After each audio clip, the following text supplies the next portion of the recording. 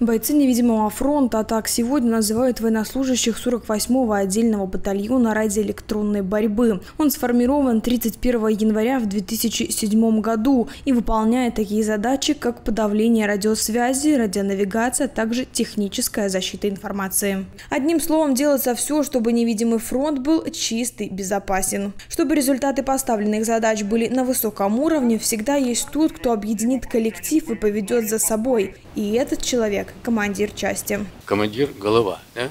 Нет командира – нет победы.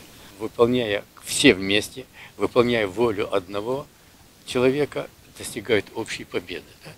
И решающая роль всегда командира.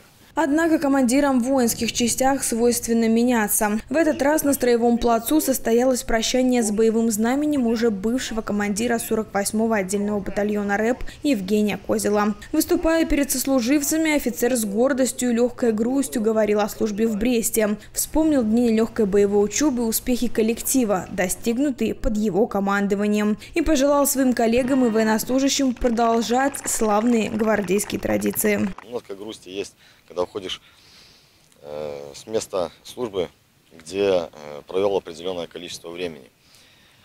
Э, конечно, очень рад и очень горд э, тем, что я служил э, в 48-м отдельном батальоне радиоэлектронной борьбы. Э, в данном коллективе, который, в котором прошло мое становление как офицера, потому что первое место службы тоже было здесь.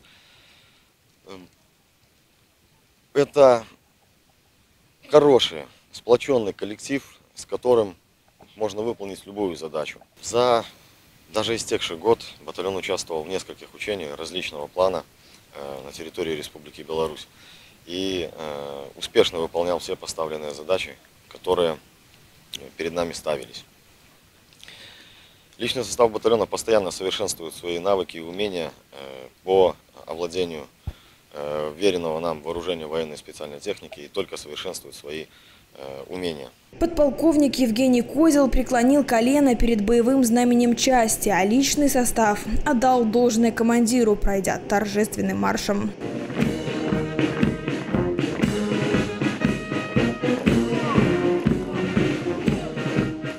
Сегодня Евгений Козел также передал все бразды правления новому командиру 48-го отдельного батальона РЭП Вадиму Шкоде. А тот, в свою очередь, отметил, что город был служить под руководством такого грамотного и умелого командира. Он умело, грамотно руководил личным составом.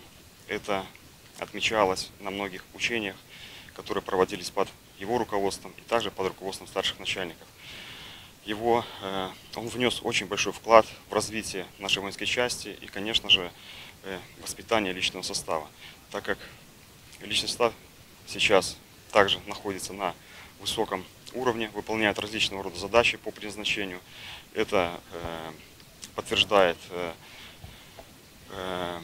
многие учения, проводимые как под руководством начальника генерального штаба, э, нашего командующего войсками Западного оперативного командования, также начальника службы радиоэлектронной борьбы штаба Западного оперативного командования.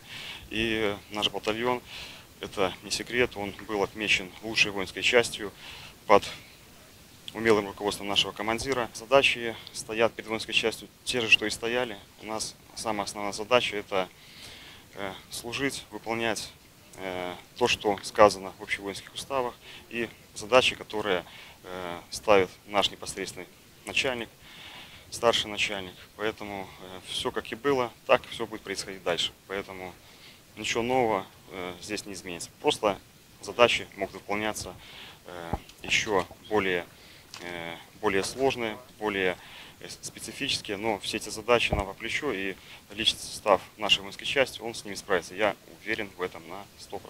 Анастасия Мелешкевич, Дмитрий Литвинюк, Юрий Лимонтович. Новости Бреста.